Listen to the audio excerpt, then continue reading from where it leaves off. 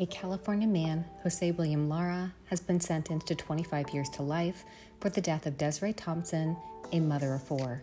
Thompson's body was discovered a decade later, buried in Lara's backyard.